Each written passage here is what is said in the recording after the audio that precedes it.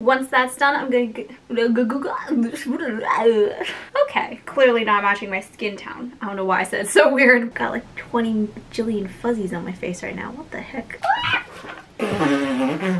Okay, that's it. We're done for the video. I almost busted my booty. Nope.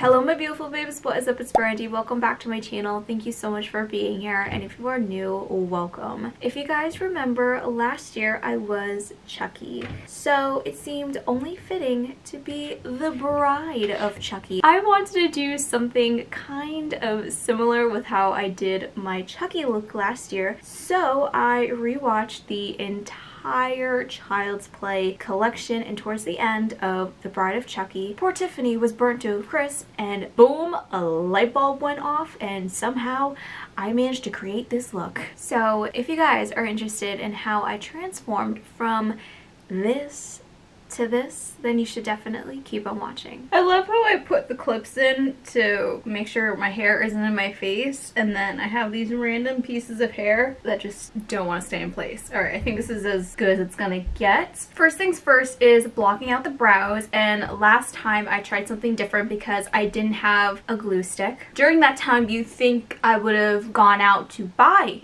an actual glue stick to make my life a whole lot easier, but I didn't. So instead of using the soap brow and the Got 2b Glued, I'm just to use the Got 2b Glued today. As you guys can see, my tail barely has any hair and that usually gets covered up pretty easily. It's usually right in the front and the middle that struggles a little bit so I'm doing my best to brush it completely up that way no hairs are grouped together. As it's drying, I'm just pressing it down, making sure it's all nice and flat. While this is still drying, I'm going to work on this one and begin by grabbing my concealer. This is my e.l.f. 16 Hour Camo in the shade Medium Neutral, and this is their matte finish. Just patting this all over. Since this worked so well in my last video, I'm going to be using the same product again to set the brow in place using my Maybelline Fit Me Matte and Poreless Powder. This is in 253. Obviously, it's not 100% covered still. Don't worry. I'm just going to go over it again with some concealer as well as powder. I'm so excited for this look. I was about to forget the brow completely and just leave it as is. That's not what we want to do. we need the iconic Tiffany brow. So I'm going to go in with my Milani Weekend Brow Tint. This is in the shade Espresso. I can't tell if I love it or I hate it. I don't think I will be able to tell until it's completely done just because it's so different than how I normally do my brows and the rest of my makeup isn't done. After a little bit of finessing, I actually like the brow. I just went in with a little bit more concealer just to clean up the edges and I also went in with a little bit of dark brown eyeshadow. You don't have to do it. It's just something that I felt like I needed to do. But now that we have a brow, we can officially move on to the eyes.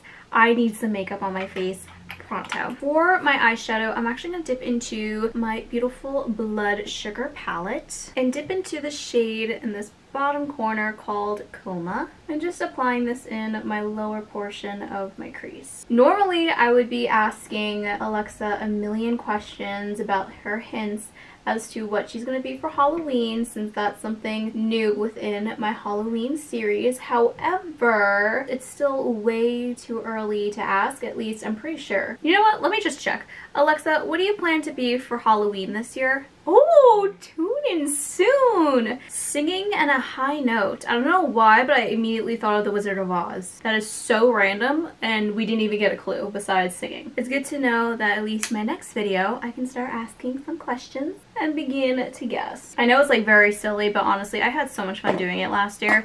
I have to do it again. Then taking the shade right above it, which is Root Canal, blending this all over my upper crease. Oh, I just hit the mirror. Not what I meant to do. I almost dipped into the wrong shade too. That would have been lovely. That is so stinking pretty. I'm to go back into Coma just to deepen it up just a hair. Once that's done, grabbing the shade Cavity. Look at how beautiful this pink is. I can't remember the last time I dipped into the shade, but my goodness, she's gorgeous. Apply this to the edges of the last color that we placed. Definitely going to take me a little bit longer to build this up than normally would, but that's to be expected with all the powder on my brows. Not even half of my face is done, but even just a little bit of this, and I am slowly starting to see the vision and feel so much better about myself. now, up on top, it needs to be blended a little bit more just because I have a lot more eye space than I normally would. So I'm going to go into the shade Sugar Cane and a hint of Tongue Pop but mostly sugar cane. Making sure to blend that all the way to the new brow bone. Remember how I said I wanted coma in the crease area? I low-key changed my mind. I want to add the rest of that onto the lid. Switching over to the cremated palette, dipping into Hearst. Hearst? I don't know why I struggled saying that for a second, but alright. Lightly tapping this all over the lid ever so slightly. And before I start building it up, I'm to go back in with that brush with Coma and just overlap it together. So the purple can be even darker, but not too dark. I'm gonna stop here just for a second because I'm gonna quickly hop off camera, do like, it's more than half of my face, but not the full face. Basically everything besides like this. You'll see. Remember what I just said a second ago? Yeah, me trying to not do my full face was a lot harder than I thought. Like I was already doing it and I was like, I am making more work for myself. But I realized a little bit too late. Anyway, here we are. Besides doing my full face, I also added some black liner in my top and bottom waterline. Now let's finish off this eye, starting off with highlighter so I don't forget it. This is also what I am currently wearing on my face. It is the JSC Skin Frost in Sarcophagus. Using this to highlight my brow bone, and since I have a round face, I like to round it off, and that way I can connect nicely to my cheek. Oh my goodness. There we go. was struggling so hard there for a second. Ooh, a fuzz. Starting off with Coma, putting this as close to my waterline as I possibly can. I was just to go in with Tongue Pop, but I'm actually to mix that shade with a hint of Cavity. Let's see how that works. This will look absolutely amazing or like complete doo-doo. She is smoking out that bottom lash line exactly how I wanted to. Wow, that's beautiful. I was about to do the other side of my eye and I was like, wait a second. No. And voila, the bottom is done. Last but not least is the inner corner and I'm going to keep it very simple sticking to a beautiful beautiful silver. So dipping into my cremated this is in the shade Diamond Ashes. Don't ask me why I'm holding the palette so stinking awkward. Sometimes I do things and I'm like, why am I doing that? Ew, I put a, I put a literal chunk in my stinking eye. What is with me? I want it on my eye, not in my eye. What am I doing? For lips, I'm starting off with Thrill Seeker by Maybelline and then in the center going in with JSC's Redrum. Now this, ladies and gentlemen, is the perfect Tiffany Valentine lip. Last but not least, to finish off the beauty portion is her lovely beauty mark. I don't really know what side it's supposed to go on. I'm just going to put it on this side. Listen, it did the job, but I'm definitely going to go in with black paint because she's low-key patchy. I really wish I did my full face like this because I'm living for this look. And with the wig, oh, I can just see it. You know what? Maybe I'll just be the bride of Chucky for Halloween instead of the corpse bride. I don't know yet. Clearly, I'm, I'm very indecisive. But now it's time to ugly this side up. I'm going to begin with my liquid latex, just something that I bought from Party City. You could literally use anything. Not anything, but I mean like any liquid latex. yeah, let's be specific here. I don't want you guys to be putting like Elmer's glue on yourself.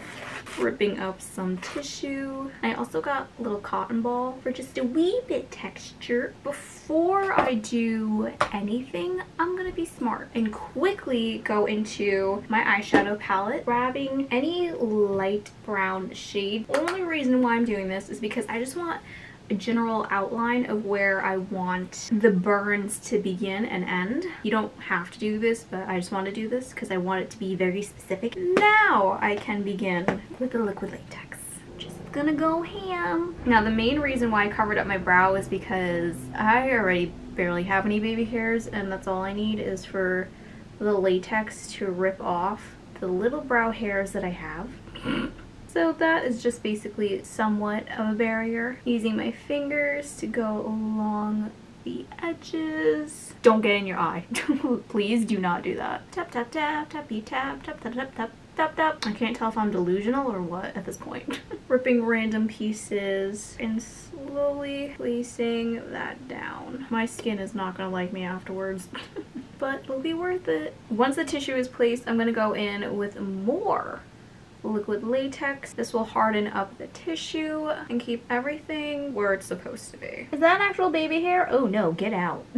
Taking some cotton balls, putting that randomly throughout my face. There really is no like right or wrong way to do this. I'm just literally chucking this stuff all over and hoping for the best. Oh, I forgot how annoying. Get off. I really should like put my hair back or something. Like properly back. Don't forget to go over the cotton balls with latex too. It'll help blend everything together. We're going to be doing a little bit of multitasking. So while this is drying, we're going to just do the quick outline of where the paint drips are going to go. I'm going to go back into my Bloodlust, take any red shade, and do very light shading throughout the face. My favorite thing about doing looks like this is that it doesn't need to be perfect. The sloppier, the better. Oh, I got, I got a fuzzy a fuzzy in my nose from the cotton ball. Time to make the blood look more realistic, so I'm going to go into my professional face and body paint. You guys already know my Mehron 30 count palette. I am obsessed with this, as well as rotating between a bunch of their brushes. I'm going to begin by going with the lightest red. Not only is the shadow just a general outline, but it also helps give slightly more definition and that's exactly what I want. And to somewhat blend it out, I'm just gonna lightly tap. Then darkening it up using the next darkest red shade. And I'm just gonna do random light strokes. Uh, really guys?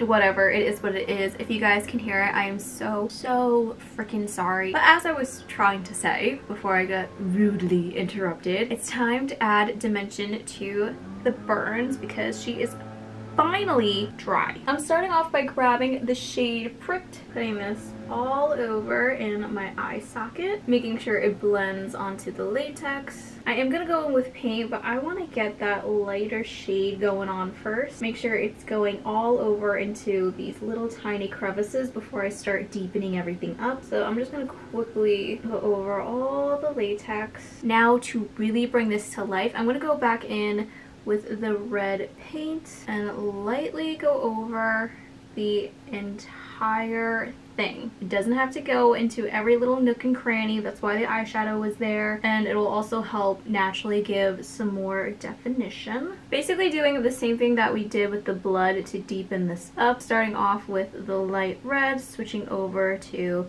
the darker one, brown, and then black. I am going randomly throughout my face. There is no right or wrong way, just whatever it is I'm feeling. Rotating between my cremated as well as the Orgy palette. And even though I feel like this is a given, I'm to say it anyway. Don't want to forget about Blood Sugar either. There is no specific shade that I'm going for within each palette. It's just going to be a mixture of red tones, a little bit of black and gray and the brown, just filling it in where I feel like things need a little bit more definition and just more more gore. now for some more fake blood. I'm gonna go and just spray this on the tissue and lightly dab that all over I want to mix the fake blood with the paint, so I'm going to quickly remove this bad boy, take my paintbrush, and just get some on there and lightly go over the blood splatters that are already there. So this is the final look, you guys. When I tell you I am so freaking proud that I could literally cry, I mean that. And I'm gonna do my absolute best not to cry. Oh my goodness. I'm supposed to be a bad bitch. Stop crying. These are happy tears. Like I always say, it's one thing to envision it in your mind and then literally have it on a piece of paper versus the real thing and just to see it in person come to life it's truly breathtaking in a very weird way. and no matter how long I do the series, I will forever impress myself. It's like I, I don't know what I really can do until I actually do it. Does that make sense? Real quickly, let me go into the costume. I know I didn't really talk about the costume in my last video. It was just the same dress that I'm wearing now, which I will show you in just a second, and a flower headpiece. I didn't go all that crazy. I kept it very, very simple. But this one, the fantasy was a little bit more brought to life and I just, oh, I love it so freaking much. I got this shimmery grayish white bodycon dress that is like bunched up and unfortunately I didn't have a leather jacket so I just worked with what I got and I think it worked out pretty darn good which is my black denim hoodie. Now I will say this is a tiny bit big on me, so it doesn't give me the best shape, but you know what? It's okay. As for accessories, obviously you guys see I have this cute choker heart. I wanted to include her like tattoo that she has of Chucky on her boob, but I really didn't have the patience to paint it, so I thought the heart was a good compromise. And this hair is so freaking big. You guys saw it in my Barbie video. This was, I think, about 12 bucks, and the volume, the realness, it's just truly breathtaking and I love it so much. You can't 100% see these adorable freaking earrings. They are little knives with bloody, with bloody, with blood on them. I was about to say bloody hands, but no, it's just a knife with blood on it. Obviously fake. I feel like that's a given, but if you take that out of context, might seem a little bit odd, so I just want to clarify that. and of course, the look can't be complete without a prop. One of my favorite hair mirrors from JSC. And then of course, I also got this fake knife.